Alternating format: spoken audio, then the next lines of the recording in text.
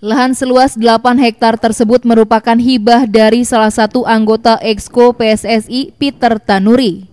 Di lokasi ini, PSSI rencananya akan membangun 6 lapangan sepak bola standar internasional dengan fasilitas olahraga lainnya serta wisma atlet.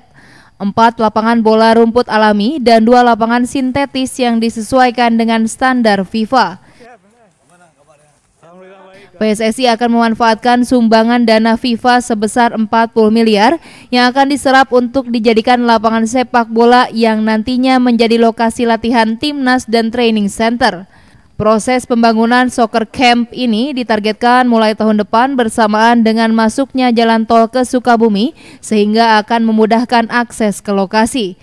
Planningnya ada enam ya, enam lapangan yang mungkin nanti kita akan bagilah kalau enam mungkin empatnya lapangan rumput buat sintetis. Rumput pun ada level-levelnya dari mulai yang biasa, sedang sampai yang bagus. Sehingga mereka nanti akan berjenjang untuk naik kepada yang senior gitu.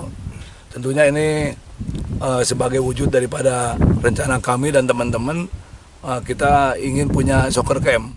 Pihaknya berharap pembangunan soccer camp ini juga mendapat dukungan dari pemerintah daerah setempat sehingga fasilitas olahraga yang dimiliki PSSI dapat berjalan lancar. Hal tersebut akan menjadi kebanggaan negara dan bisa meningkatkan ekonomi masyarakat setempat. Budi Setiawan, Bandung TV.